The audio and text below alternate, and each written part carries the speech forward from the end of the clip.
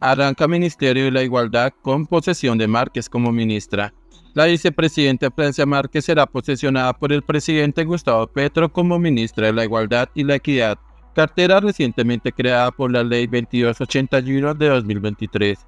Con esta designación avanza la estructuración de esta cartera, que arranca con un presupuesto de 500 mil millones de pesos contemplados en la edición presupuestal que aprobó el Congreso. El Ministerio de la Igualdad y la Equidad fue impulsado por el actual gobierno. La iniciativa generó fuerte discusión en el gobierno por parte de la oposición política, especialmente por los costos que implicará y la burocracia que algunos consideran generará. Se mantiene previsto que la nueva cartera absorberá el Instituto Colombiano de Bienestar Familiar y CBF y algunas altas consejerías como la de la juventud, la de las mujeres y la de la niñez. Petro. Impedir funciones dobles. El presidente Gustavo Petro mencionó que el nuevo ministerio debe aprender el duro camino de hacer uno de los países más desiguales del mundo un espacio de democracia, de libertad y de igualdad. Además agregó que toca impedir que se dupliquen funciones del Ministerio de Igualdad con otros ministerios. Hay que darle capacidad para que sea eficaz, rápido y contundente,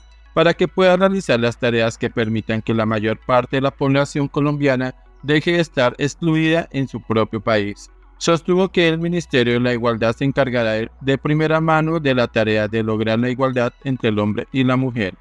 El Ministerio de la Igualdad y Equidad tiene como objetivo diseñar, formular, adoptar, dirigir, coordinar, articular, ejecutar, fortalecer y evaluar las políticas y estrategias para contribuir a la eliminación de las desigualdades económicas, políticas y sociales. De la misma manera, impulsar el goce del derecho a la igualdad, el cumplimiento de los principios de no discriminación y no regresividad, la defensa de los sujetos de especial protección constitucional, de población vulnerable y de grupos históricamente discriminados o marginados, incorporando y adoptando los enfoques de derechos de género diferencial, étnico-racial e interseccional. Para el cumplimiento de su objetivo, el Ministerio de Igualdad y Equidad formulará y coordinará los planes y programas, entre otros, para la eliminación de todas las violencias contra las mujeres, así como la eliminación de barreras económicas, sociales y políticas o de discriminación contra ellas. También formulará y ejecutará planes para definir y focalizar la oferta social de las entidades del orden nacional en el territorio,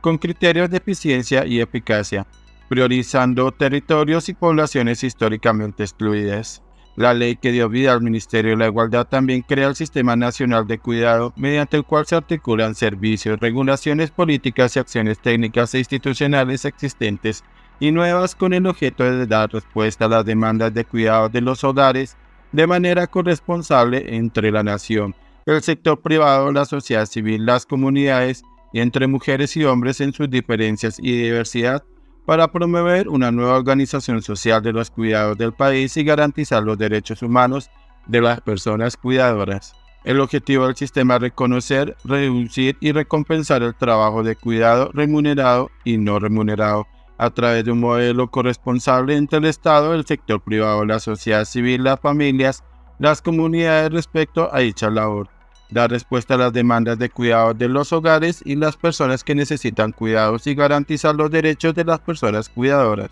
El patrimonio del Ministerio de Igualdad y Equidad estará conformado por las sumas que se apropien en el presupuesto general de la Nación, los bienes muebles e inmuebles que adquiera a cualquier título, tal y como los bienes que le sean donados o cedidos por entidades públicas o privadas, nacionales o internacionales. Por otra parte, la ley que creó este ministerio revistió al presidente Petro de facultades extraordinarias por el término de seis meses para expedir normas como fuerza material de ley dirigidas a integrar al sector de igualdad y equidad con las entidades que defina como adscritas o vinculadas. Asimismo, se creó una comisión de seguimiento integrada por cinco senadores y nueve representantes de diferentes bancadas y con participación de los partidos declarados en oposición e independencia, designados por los presidentes del Senado de la República y la Cámara de Representantes para hacer seguimiento permanente a las facultades conferidas en este proyecto, recibir los informes del gobierno y presentarlos al Congreso.